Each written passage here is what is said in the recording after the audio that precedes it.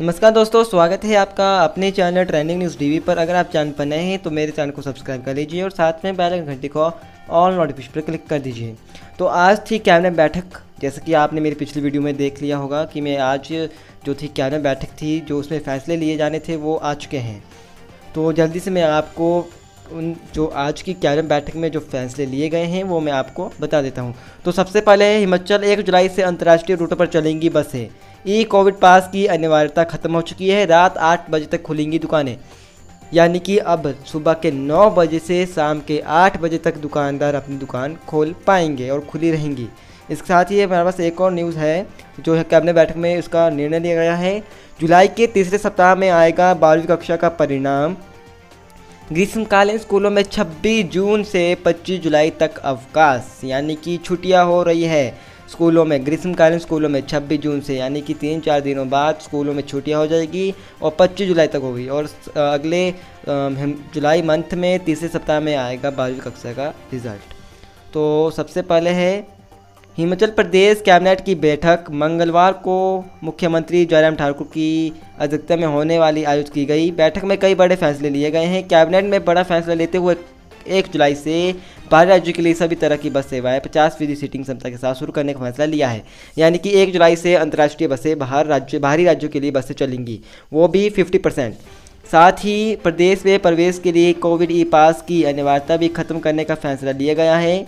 प्रदेश में एक जुलाई से शक्तिपीठों समेत अन्य मंदिर दर्शन के लिए खोल दिए जाएँगे, लेकिन सामूहिक आयोजन पर रोक रहेगी। इसके साथ ही शादियों में अब 100 लोग शामिल हो रहे, हो सकेंगे।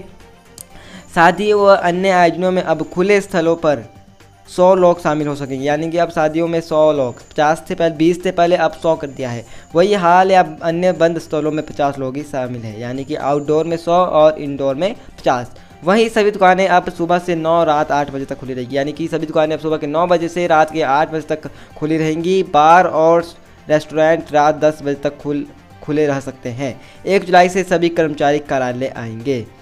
यानी कि जो भी सरकारी कार्यालय है, वो एक जुलाई से सभी आएँगे, अपने कार्यालय आएँगे। इसके साथ ही हिमाचल कैबिनेट निर्णय जुलाई के तीसरे सप्ताह में आएगा। बारहवीं कक्षा का परिणाम ग्रीष्मकालीन स्कूलों में 26 जून से 25 जुलाई तक अवकाश, यानी कि छुट्टियाँ। हिमाचल प्रदेश में जुलाई माह के तीसरे सप्ताह में बारहवीं कक्षा का परिणाम निकला, निकाला जाएगा। जयराम कैबिनेट ने सीबीएसई के फार्मूले में संशोधन करते हुए बारहवीं कक्षा का परिणाम तैयार करने की मंजूरी दी है। नए फार्मूले के तहत दसवीं कक्षा के दस फ़ीसदी अंक, ग्यारहवीं कक्षा के पंद्रह फ़ीसदी और बारहवीं कक्षा के प्री बोर्ड तथा first term and second term के पचास फ़ीसदी अंक। अप्रैल में हुई अंग्रेज़ी परीक्षा के पाँच फ़ीसदी अंक और आंतरिक मूल्यांकन के पंद्रह फ़ीसदी अंक जोड़कर जुलाई के तीसरे सप्ताह तक परीक्षा परिणाम जारी किया जाएगा। तो किस तरह का नया फार्मूला है? देखिए, अब मैं आप बताता हूँ किस तरह का नया फार्मूला है। आपने दसवीं कक्षा के दस फ़ीसदी अंक और ग्यारह ग्यारहवीं कक्षा के फिफ्टीन परसेंटेज और बारहवीं कक्षा के प्री बोर्ड सब कुछ मिलाकर पचपन परसेंट ठीक है? और जो अंग्रेज़ी के जो वो हुए हैं, क्या नाम, अप्रैल में जो परीक्षा हुई थी, उसके पाँच फ़ीसदी अंक जोड़े जाएँगे और आंतरिक मूल्यांकन के पंद्रह फ़ीसदी अंक जोड़कर। आप अपना रिज़ल्ट खुद भी बना सकते हैं, ठीक है?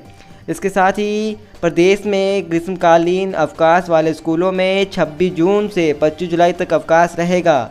लाहौल स्पीति जिला में यह अवकाश एक से इकतीस जुलाई तक रहेगा। अवकाश के दौरान भी लॉकडाउन पढ़ाई जारी रहेगी। शीतकालीन स्कूलों में एक जुलाई से सभी शिक्षक आएँगे। वहीं कॉलेजों में स्नातक अंतिम वर्ष की परीक्षाएँ जुलाई के पहले सप्ताह से होगी।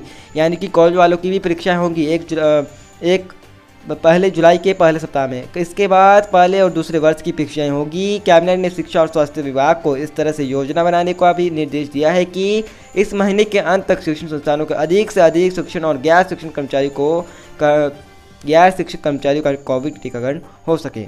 तो यही थी कुछ हिमाचल प्रदेश की जो आज की कैबिनेट बैठक में बड़े फैसले लिए गए हैं हमारी सरकार द्वारा।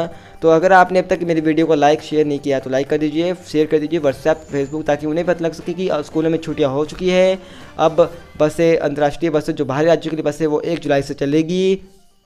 इसके साथ ही अब दुकानदार सुबह के नौ बजे से आठ बजे तक दुकानें खुली रखेंगे और अब कोविड ई पास की अनिवार्यता ख़त्म हो चुकी है और जो बारहवीं कक्षा का परिणाम है, वो आएगा जुलाई के तीसरे माह में आ जाएगा उनका रिज़ल्ट और उनका जो फॉर्मूला है पैटर्न है, किस तरह से मार्क्स डिवाइड हुए हैं, वो भी मैंने आपको इस वीडियो में बता दिया है। तो अगर आपने अभी तक भी मेरे चैनल को सब्सक्राइब नहीं किया है तो सब्सक्राइब कर लीजिए। आपको वीडियो के नीचे रेड कलर में सब्सक्राइब बटन दिख रहा होगा तो सब्सक्राइब कर लीजिए उसको और साथ में बेल घंटी को ऑल नोटिफिकेशन क्लिक कर दीजिए। तो मिलते हैं अगली वीडियो में, तब तक के लिए बाय बाय जय हिंद, जय भारत।